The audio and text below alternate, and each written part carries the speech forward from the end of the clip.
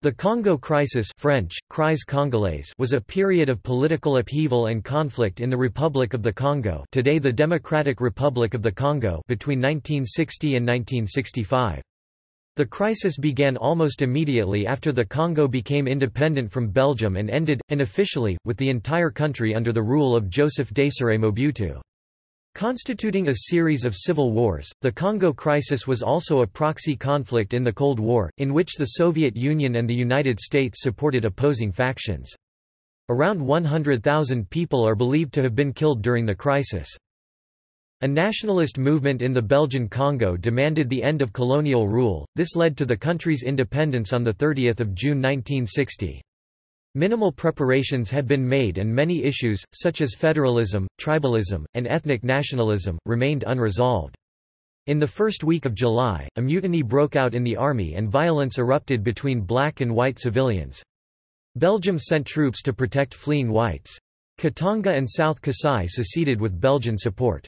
Amid continuing unrest and violence, the United Nations deployed peacekeepers, but UN Secretary-General Dag Hammarskjöld refused to use these troops to help the central government in Leopoldville fight the secessionists. Prime Minister Patrice Lumumba, the charismatic leader of the largest nationalist faction, reacted by calling for assistance from the Soviet Union, which promptly sent military advisors and other support. The involvement of the Soviets split the Congolese government and led to an impasse between Lumumba and President Joseph Kasavubu. Mobutu, in command of the army, broke this deadlock with a coup d'état, expelled the Soviet advisers and established a new government effectively under his own control. Lumumba was taken captive and subsequently executed in 1961. A rival government of the Free Republic of the Congo was founded in the eastern city of Stanleyville by Lumumba supporters led by Antoine Gizenga. It gained Soviet support but was crushed in early 1962. Meanwhile, the UN took a more aggressive stance towards the secessionists after Hammarskjöld was killed in a plane crash in late 1961. Supported by UN troops, Leopoldville defeated secessionist movements in Katanga and South Kasai by the start of 1963. With Katanga and South Kasai back under the government's control, a reconciliatory compromise constitution was adopted and the exiled Katangese leader, Moise Tshombe, was recalled to head an interim administration while fresh elections were organized. Before these could be held, however, Maoist-inspired militants calling themselves the Simbas rose up in the east of the country. The Simbas took control of a significant amount of territory and proclaimed a communist People's Republic of the Congo in Stanleyville. Government forces gradually retook territory and, in November 1964, Belgium and the United States intervened militarily in Stanleyville to recover hostages from Simba captivity. The Simbas were defeated and collapsed soon after. Following the elections in March 1965, a new political stalemate developed between Tshombe and Kasa Vubu, forcing the government into near paralysis. Mobutu mounted a second coup d'état in November 1965, now taking personal control. Under Mobutu's rule, the Congo renamed Zaire in 1971 was transformed into a dictatorship which would endure until his deposition in 1997. Topic. Background Topic. Belgian rule Colonial rule in the Congo began in the late 19th century. King Leopold II of Belgium, frustrated by Belgium's lack of international power and prestige, attempted to persuade the Belgian government to support colonial expansion around the then largely unexplored Congo basin. The Belgian government's ambivalence about the idea led Leopold to eventually create the colony on his own account. With support from a number of Western countries, who viewed Leopold as a useful buffer between rival colonial powers, Leopold achieved international recognition for a personal colony, the Congo Free State, in 1885. By the turn of the century, however, the violence of Free State officials against indigenous Congolese and the ruthless system of economic extraction had led to intense diplomatic pressure on Belgium to take official control of the country, which it did in 1908, creating the Belgian Congo. Belgian rule in the Congo was based around the colonial trinity Trinité coloniale of state, missionary and private company interests. The privileging of Belgian commercial interests meant that capital sometimes flowed back into the Congo and that individual regions became specialized. On many occasions, the interests of the government and private enterprise became closely tied and the state helped companies with strike-breaking and countering other efforts by the indigenous population to better their lot. The country was split into nesting, hierarchically organized administrative subdivisions, and run uniformly according to a set native policy politique indigene, in contrast to the British and the French, who generally favoured the system of indirect rule whereby traditional leaders were retained in positions of authority under colonial oversight. There was also a high degree of racial segregation. Large numbers of white immigrants who moved to the Congo after the end of World War II came from across the social spectrum, but were nonetheless always treated as superior to blacks. During the 1940s and 1950s, the Congo experienced an unprecedented level of urbanization and the colonial administration began various development programs aimed at making the territory into a model colony. One of the results of the measures was the development of a new middle class of Europeanized African evolués in the cities. By the 1950s the Congo had a wage labor force twice as large as that in any other African colony. The Congo's rich natural resources, including uranium—much of the uranium used by the U.S. nuclear program during World War II was Congolese—led to substantial interest in the region from both the Soviet Union and the United States as the Cold War developed. Politics and radicalization An African nationalist movement developed in the Belgian Congo during the 1950s, primarily among the Evolués. The movement was divided into a number of parties and groups which were broadly divided on ethnic and geographical lines and opposed to one another. The largest, the Mouvement National Congolais MNC, was a united front organization dedicated to achieving independence within a reasonable time. It was created around a charter which was signed by, among others, Patrice Lumumba, Cyrille Adoula and Joseph Iléo, but others accused the party of being too moderate.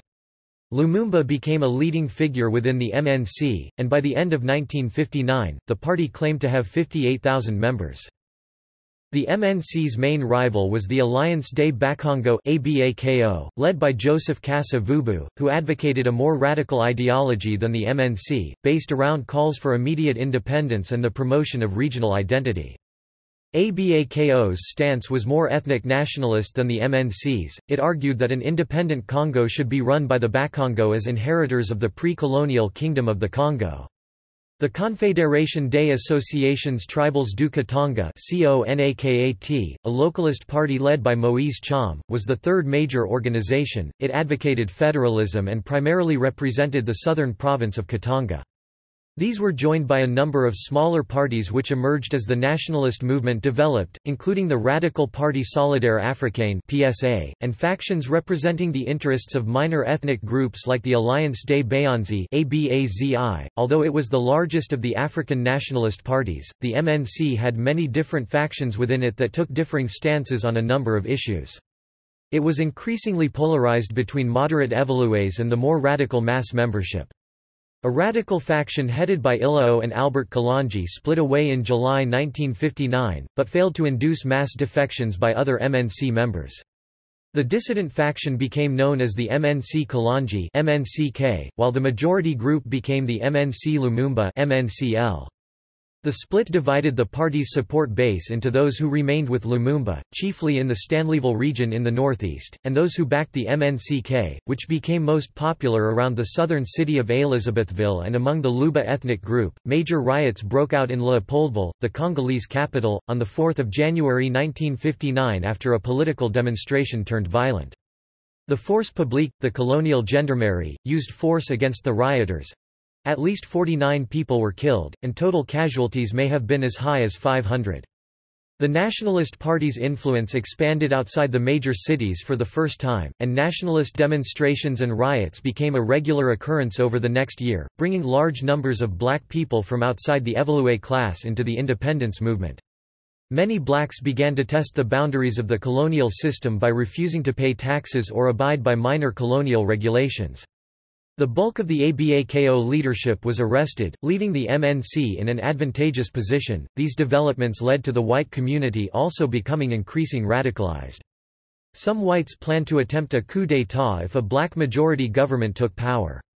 As law and order began to break down, white civilians formed militia groups known as Corps de Volontaires Européens European Volunteer Corps, to police their neighborhoods. These militias frequently attacked blacks. Independence In the fallout from the Leopoldville riots, the report of a Belgian parliamentary working group on the future of the Congo was published in which a strong demand for internal autonomy was noted. Auguste de Schryver, the Minister of the Colonies, launched a high-profile round-table conference in Brussels in January 1960, with the leaders of all the major Congolese parties in attendance. Lumumba, who had been arrested following riots in Stanleyville, was released in the run-up to the conference and headed the MNCL delegation. The Belgian government had hoped for a period of at least 30 years before independence, but Congolese pressure at the conference led to 30 June 1960 being set as the date. Issues including federalism, ethnicity and the future role of Belgium in Congolese affairs were left unresolved after the delegates failed to reach agreement. Belgians began campaigning against Lumumba, whom they wanted to marginalize. They accused him of being a communist and, hoping to fragment the nationalist movement, supported rival, ethnic-based parties like CONAKAT. Many Belgians hoped that an independent Congo would form part of a federation, like the French Community or British Commonwealth of Nations, and that close economic and political association with Belgium would continue. As independence approached, the Belgian government organized Congolese elections in May 1960. These resulted in an MNC relative majority, the proclamation of the Independent Republic of the Congo, and the end of colonial rule, occurred as planned on 30 June 1960. In a ceremony at the Palais de la Nation in Leopoldville, King Baudouin gave a speech in which he presented the end of colonial rule in the Congo as the culmination of the Belgian civilizing mission begun by Leopold II. After the king's address, Lumumba gave an unscheduled speech in which he angrily attacked colonialism and described independence as the crowning success of the nationalist movement. Although Lumumba's address was acclaimed by figures such as Malcolm X, it nearly provoked a diplomatic incident with Belgium, even some Congolese politicians perceived it as unnecessarily provocative.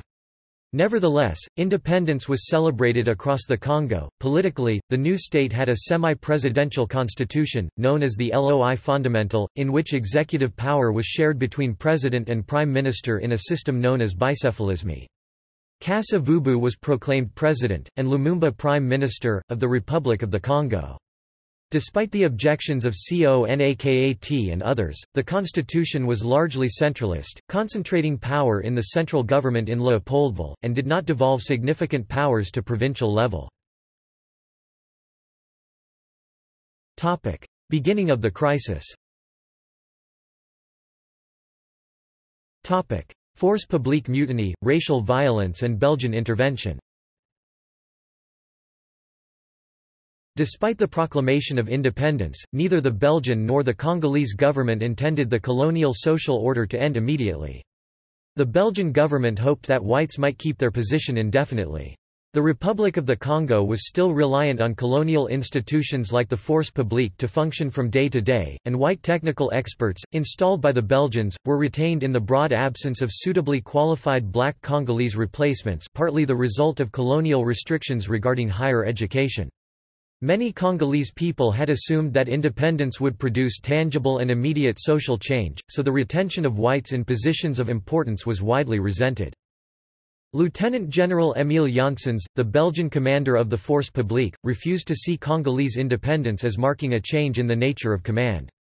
The day after the independence festivities, he gathered the black noncommissioned officers of his Leopoldville garrison and told them that things under his command would stay the same, summarizing the point by writing, before independence equals after independence on a blackboard. This message was hugely unpopular among the rank and file. Many of the men had expected rapid promotions and increases in pay to accompany independence. On 5 July 1960, several units mutinied against their white officers at Camp Hardy near Thysville. The insurrection spread to Leopoldville the next day and later to garrisons across the country. Rather than deploying Belgian troops against the mutineers as Janssens had wished, Lumumba dismissed him and renamed the Force Publique the Armée Nationale Congolaise (ANC). All black soldiers were promoted by at least one rank. Victor Lundula was promoted directly from sergeant major to major general and head of the army, replacing Janssens. At the same time, Joseph Desire Mobutu, an ex-sergeant major and close personal aide of Lumumba, became Lundula's deputy as army chief of staff. The government attempted to stop the revolt. Lumumba and Kasa Vubu intervened personally at Leopoldville and Thysville and persuaded the mutineers to lay down their arms. But in most of the country the mutiny intensified.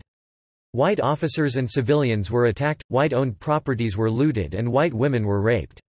The Belgian government became deeply concerned by the situation, particularly when white civilians began entering neighbouring countries as refugees. Lumumba's stance appeared to many Belgians to justify their prior concerns about his radicalism. On 9 July, Belgium deployed paratroopers, without the Congolese state's permission, in Kabalo and elsewhere to protect fleeing white civilians. The Belgian intervention divided Lumumba and Kasa Vubu. While Kasa Vubu accepted the Belgian operation, Lumumba denounced it and called for all Congolese to defend our republic against those who menace it. At Lumumba's request, white civilians from the port city of Matadi were evacuated by the Belgian Navy on the 11th of July. Belgian ships then bombarded the city, at least 19 civilians were killed. This action prompted renewed attacks on whites across the country, while Belgian forces entered other towns and cities, including Leopoldville, and clashed with Congolese troops. The Belgian government subsequently announced that it would provide for Belgian bureaucrats back in the metropole, triggering an exodus of most of the Congo's 10,000 European civil servants and leaving the administration in disarray. Engulfed by the disorder spreading throughout the country, most of the government ministries were unable to function. Katanga and South Kasai secessions On the 11th of July 1960, Moise Tshombe, the leader of CONAKAT, declared the Congo's southern province of Katanga independent as the state of Katanga, with Elizabethville as its capital and himself as president. The mineral-rich Katanga region had traditionally shared closer economic ties with the copperbelt of neighboring northern Rhodesia then part of the Central African Federation than with the rest of the Congo, and because of its economic importance it had been administered separately from the rest of the country under the Belgians. CONAKAT furthermore contended that Katangese people were ethnically distinct from other Congolese. The secession was partly motivated by the Katangese separatists' desire to keep more of the wealth generated by the province's mining operations and to avoid sharing it with the rest of the Congo. Another major factor was what CONAKAT held to be the disintegration of law and order in the central and northeastern Congo. Announcing Katanga's breakaway, Tshombe said, "'We are seceding from chaos. The major mining company in Katanga, the Union Minière du Haut Katanga UMHK, had begun supporting CONAKAT during the latter days of Belgian rule amid worries that the MNC might seek to nationalize the company's assets after independence. UMHK was largely owned by the Société Générale de Belgique, a prominent holding company based in Brussels that had close ties to the Belgian government. Encouraged by the UMHK, the Belgian government provided military support to Katanga and ordered its civil servants in the region to remain in their posts. Tshombe also recruited mercenaries, mainly whites from South Africa and the Rhodesias, to supplement and command Katangese troops. Although supported by the Belgians, Katanga never received formal diplomatic recognition from any country. The Katangese secession highlighted the fundamental weakness of the central government in Leopoldville, which had been the chief advocate of a unified state, less than a month after the Katangese secession, on 8 August, a section of the region of Kasai situated slightly to the north of Katanga also declared its autonomy from the central government as the mining state of South Kasai, Sud Kasai based around the city of Bakwanga. South Kasai was much smaller than Katanga, but was also a mining region. It was largely populated by the Luba ethnic group, and its president, Albert Kalonji, claimed that the secession was largely sparked by persecution of the Baluba in the rest of the Congo. The South Kasai government was supported by Forminière, another Belgian mining company, which received concessions from the new state in return for financial support. Without control over Katanga and South Kasai, the central government was deprived of approximately 40% of its revenues. Foreign reaction and UN intervention Disquiet about Belgium's support for the secessionist states led to calls within the United Nations UN to remove all Belgian troops from the country. The Secretary-General of the UN, Dag Hammarskjöld, believed that the crisis would provide the organization with a chance to demonstrate its potential as a major peacekeeping force and encouraged the sending of a multinational contingent of peacekeepers to the Congo under UN command. On 14 July, the UN Security Council adopted Resolution 143, calling for total Belgian withdrawal from the Congo and their replacement with a UN-commanded force. The arrival of the United Nations operation in the Congo was initially welcomed by Lumumba and the central government who believed the UN would help suppress the secessionist states. ONUC's initial mandate, however, only covered the maintenance of law and order. Viewing the secessions as an internal political matter, Hammarskjöld refused to use UN troops to assist the central Congolese government against them. He argued that doing so would represent a loss of impartiality and breach Congolese sovereignty. Lumumba also sought the assistance of the United States government of Dwight D. Eisenhower, which refused to provide unilateral military support. Frustrated, he turned to the Soviet Union, which agreed to provide weapons, logistical and material support. Around 1,000 Soviet military advisors soon landed in the Congo. Lumumba's actions distanced him from the rest of the government, especially Kasa Vubu, who feared the implications of Soviet intervention. The Americans also feared that a Soviet-aligned Congo could form the basis of a major expansion of communism into Central Africa. With Soviet support, 2,000 ANC troops launched a major offensive against South Kasai. The attack was extremely successful, but during the course of the offensive, the ANC became involved in infighting between the Baluba and Bena Lulua ethnic groups, and perpetrated a number of large massacres of Luba civilians. Around 3,000 were killed. The violence of the advance caused an exodus of thousands of Baluba civilians who fled their homes to escape the fighting. The involvement of the Soviet Union alarmed the United States. The American government under Eisenhower, in line with Belgian criticism, had long believed that Lumumba was a communist and that the Congo could be on track to become a strategically placed Soviet client state. In August 1960, Central Intelligence Agency CIA agents in the region reported to their agency that Congo is experiencing a classic communist takeover and warned that the Congo might follow the same path as Cuba. Topic: Political disintegration. Topic: Central government split and first Mobutu coup. Lumumba's appeal for Soviet support split the government and led to mounting pressure from Western countries to remove him from power.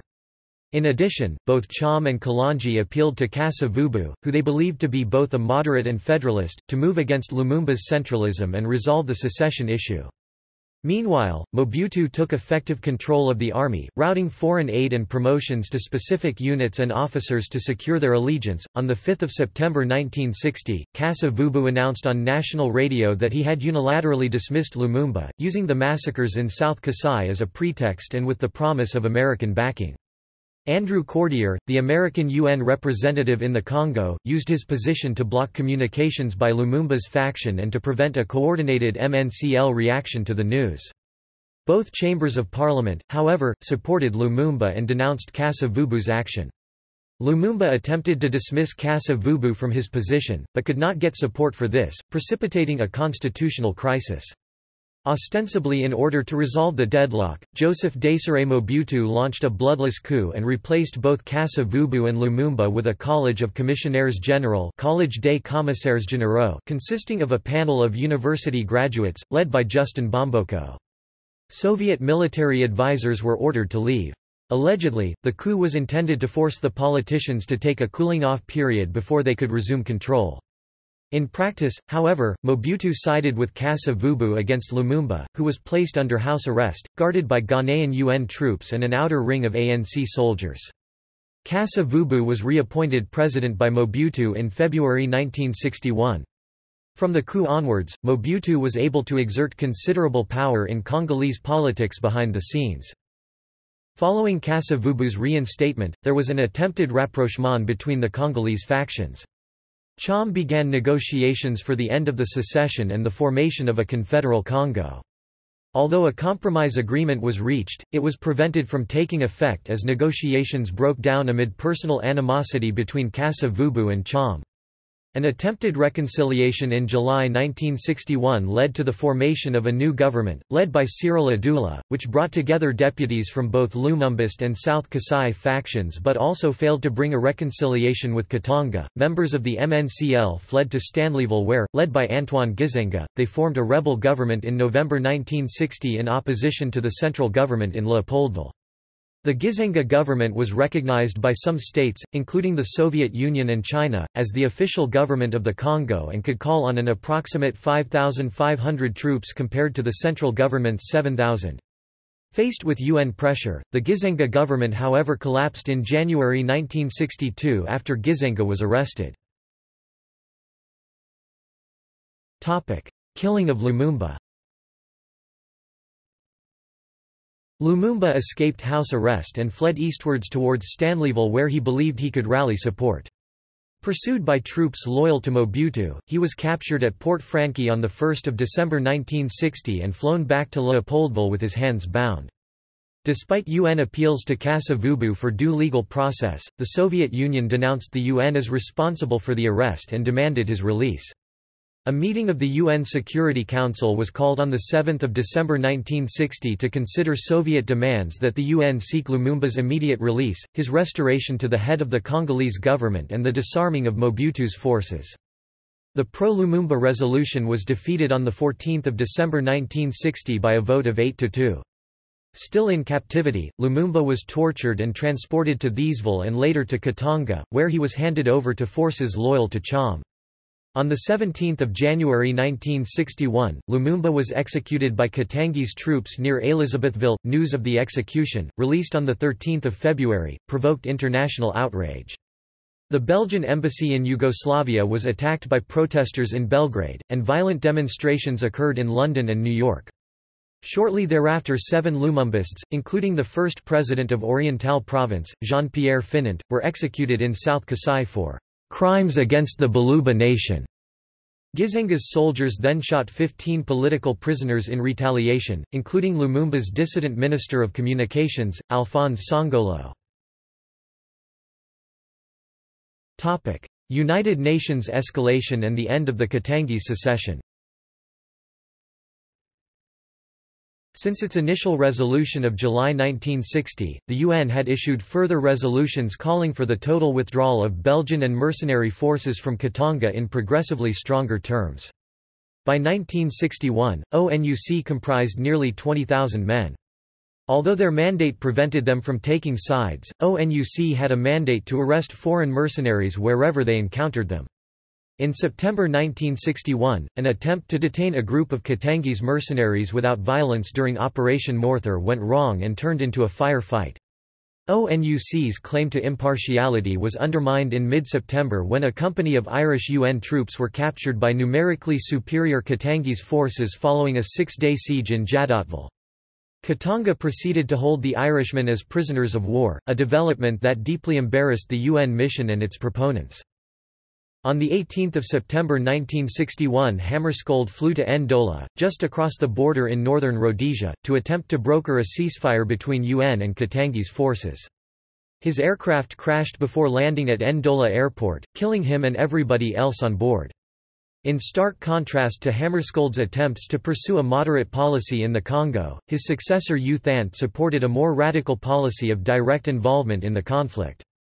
Katanga released the captured Irish soldiers in mid-October as part of a ceasefire deal in which ONUC agreed to pull its troops back—a propaganda coup for Tshombe. Restated American support for the UN mission, and the murder of ten Italian UN pilots in Port-Empain in November 1961, strengthened international demands to resolve the situation. In December 1961, South Kasai was finally overrun by ANC troops and Kalonji was arrested, ending the South Kasai secession. Resolution 169, issued in November 1961, called for ONUC to respond to the deteriorating human rights situation and prevent the outbreak of full-scale civil war.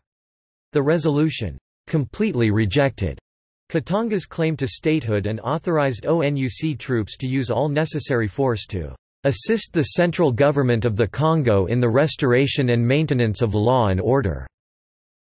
The Katangese made further provocations and, in response, ONUC launched Operation UNOKAT to dismantle Katangese roadblocks and seize strategic positions around Elizabethville.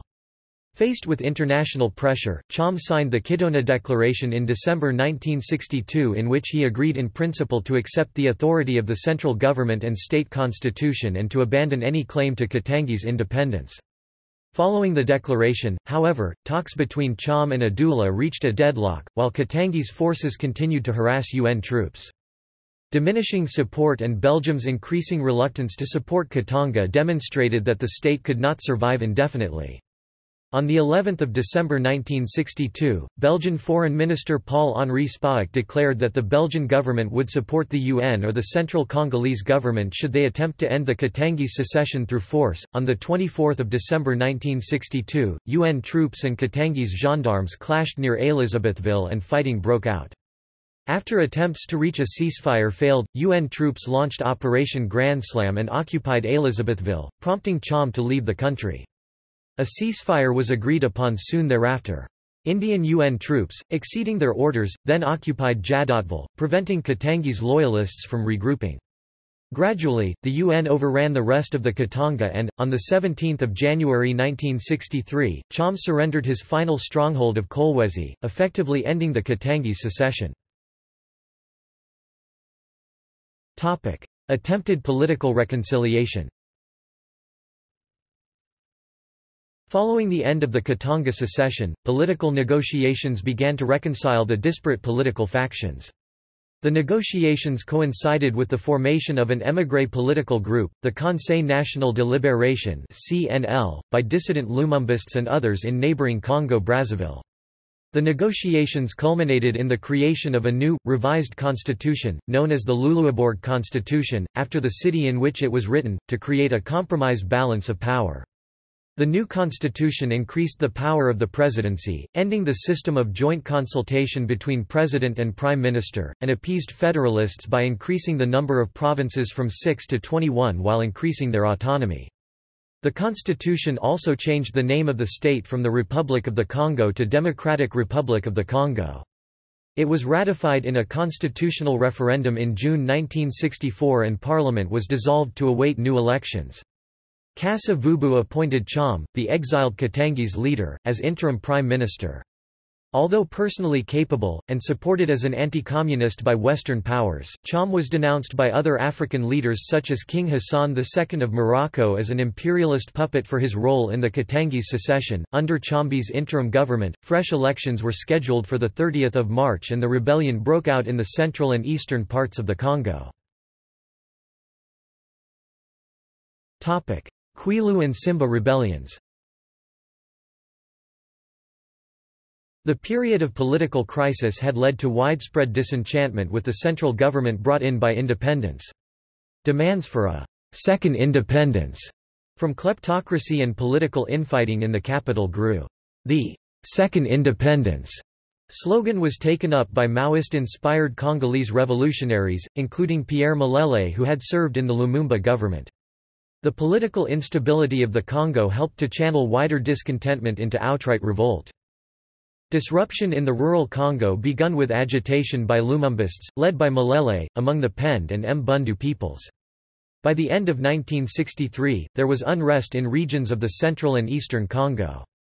The Kwilu Rebellion broke out on 16 January 1964 in the cities of Idiofa and Gungu in Kwilu Province. Further disruption and uprisings then spread to Kivu in the east and later to Albertville, sparking further insurrection elsewhere in the Congo and the outbreak of the larger Simba rebellion. The rebels began to expand their territory and rapidly advance northwards, capturing Port-Empain, Stanleyville, Paulis and Lisala between July and August. The rebels, who called themselves Simbas, from the Kiswahili word for lion, had a populist but vague ideology, loosely based on communism, which prioritized equality and aimed to increase overall wealth. Most of the active revolutionaries were young men who hoped that the rebellion would provide them with opportunities which the government had not. The Simbas used magic to initiate members and believed that, by following a moral code, they could become invulnerable to bullets. Magic was also very important to the rebels who also made extensive use of witchcraft to protect themselves and also demoralize their ANC opponents. As they advanced, the rebels perpetrated numerous massacres in the territory they captured in order to remove political opposition and terrorize the population. ONUC was in the process of withdrawing when the rebellion started and had only 5,500 personnel, most of whom were deployed in the eastern part of the country and stranded by the conflict. Straggling Western missionaries retreated to their respective embassies, which in turn requested UN assistance. A small force of peacekeepers was assembled and subsequently dispatched to the Kwilu region to retrieve fleeing missionaries. Rescue operations continued throughout March and April and resulted in the successful recovery of over 100 missionaries. The rebels founded a state, the People's Republic of the Congo République Populaire du Congo, with its capital at Stanleyville and Christophe Gbenye as president. The new state was supported by the Soviet Union and China, which supplied it with arms, as did various African states, notably Tanzania.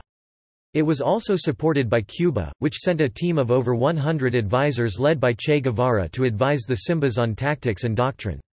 The Simba rebellion coincided with a wide escalation of the Cold War amid the Gulf of Tonkin incident and it has been speculated that, had the rebellion not been rapidly defeated, a full-scale American military intervention could have occurred as in Vietnam. Suppression and Belgian and American intervention After its early string of successes, the Simba rebellion began to encounter local resistance as it encroached on areas outside of the MNCL's old domain. The People's Republic also suffered from a lack of coherent social and economic policy, contributing to an inability to administer its own territory. From the end of August 1964 the rebels began to lose ground to the ANC. Albertville and Lisala were recaptured in late August and early September. Tshombe, backed by Mobutu, recalled many of his former mercenaries from the Katanga secession to oppose the Simba. Mercenaries, led by Mad Mike Hoare and mostly whites from Central and Southern Africa, were formed into a unit known as 5 Commando ANC. The unit served as the spearhead of the ANC, but were known for widespread unsanctioned killing, torture, looting and mass rapes in recaptured rebel areas. In a press interview, Hoare himself described his men as appalling thugs. The mercenaries were also materially supported by the CIA. In November 1964, the Simbas rounded up the remaining white population of Stanleyville and its environs. The whites were held hostage in the Victoria Hotel in the city to use as bargaining tools with the ANC. In order to recover the hostages, Belgian parachute troops were flown to the Congo in American aircraft to intervene. On 24 November, as part of Operation Dragon Rouge, Belgian paratroopers landed in Stanleyville and quickly secured the hostages. In total, around 70 hostages and 1,000 Congolese civilians were killed but the vast majority were evacuated. The Belgian troops were only under orders to liberate the hostages, rather than push the Simbas out of the city, but the attack nevertheless broke the back of the eastern insurrection, which never recovered. The Simba leadership went into exile in disarray and severe disagreement. Gbenye was shot in the shoulder by his general after dismissing him. Meanwhile, the Belgian paratroopers and the civilians returned to their country. In the aftermath of the intervention, Belgium itself was publicly accused of neocolonialism. As a result of the intervention, Tshombe lost the support of Kasa Vubu and Mobutu and was dismissed from his post as prime minister in October 1965. Soon after Dragon Rouge, ANC and mercenary troops captured Stanleyville, putting an end to the Simba rebellion. Pockets of Simba resistance continued to hold out in the eastern Congo, most notably in South Kivu, where Laurent Desire Kabila led a Maoist cross-border insurgency which lasted until the 1980s. Second Mobutu coup d'état In the scheduled March 1965 elections, Tshombe's Convention Nationale Congolaise won a large majority of the seats, but a large part of his party soon defected to form the new Front Démocratique Congolais FDC, making the overall result unclear as CONACO controlled the Chamber of Deputies while the FDC controlled the Senate. Kasa Vubu, attempting to use the situation to block Tshombe, appointed an anti-Tshombe leader, Evariste Kimba of the FDC, to be prime minister-designate in November 1965, but the largely pro-Tshombe parliament refused to ratify the appointment. Instead of seeking a compromise candidate, Kasa Vubu again unilaterally declared Kimba to be prime minister, which was again rejected, creating a political deadlock. With the government in near paralysis, Mobutu seized power in a bloodless coup, ostensibly to stop the impasse. On the 25th of November 1965, under the auspices of a regime d'exception, the equivalent of a state of emergency, Mobutu assumed sweeping, almost absolute power for 5 years, after which he claimed democracy would be restored. Mobutu's coup, which promised both economic and political stability, was supported by the United States and other Western governments, and his rule initially met widespread popularity. He increasingly took other powers, abolishing the post of prime minister in 1966 and dissolving parliament in 1967. Aftermath and legacy Once established as the sole source of political power, Mobutu gradually consolidated his control in the Congo. The number of provinces was reduced, and their autonomy curtailed, resulting in a highly centralized state. Mobutu increasingly placed his supporters in the remaining positions of importance. In 1967, to demonstrate his legitimacy, he created a party, the Mouvement Populaire de la Révolution (MPR), which until 1990 was the nation's only legal political party under Mobutu's new constitution. In 1971, the state was renamed Zaire and efforts were made to remove all colonial influences. He also nationalized the remaining foreign-owned economic assets in the country, including the UMHK which became Gécamines. Despite initial successes, by the time of its disestablishment Mobutu's rule was characterized by widespread cronyism, corruption and economic mismanagement. In the years after the Congo crisis, Mobutu was able to remove many opposition figures from the crisis who might threaten his control. Tshombe was sent into a second exile in 1965 after being accused of treason. Between 1966 and 1967, two mutinies in Stanleyville broke out involving up to 800 Katangese gendarmes and former mercenaries of Tshombe. The mutinies were eventually repressed. In 1967, Tshombe was sentenced to death in absentia and the same year was kidnapped in an aeroplane hijacking and held under arrest in Algeria. His death in 1969, allegedly from natural causes, has provoked speculation that the Mobutu government may have been involved. Mulele was also lured back to the Congo from exile by the promise of an amnesty but was tortured and murdered. Political legacy The issues of federalism, ethnicity in politics and state centralization were not resolved by the crisis and partly contributed to a decline in support for the concept of the state among Congolese people. Mobutu was strongly in favor of centralization and one of his first acts, in 1965, were to reunify provinces and abolish much of their independent legislative capacity. Subsequent loss of faith in central government is one of the reasons that the Congo has been labeled as a failed state, and has contributed violence by factions advocating ethnic and localized federalism. Local insurgencies continued in the eastern Congo into the 1980s and left a legacy of instability along the Congo's eastern borders. Laurent Desire Kabila, who had led an anti-Mobutu insurrection during the crisis, succeeded in deposing Mobutu in 1997. His son, Joseph Kabila, is the incumbent president of the restored Democratic Republic of the Congo.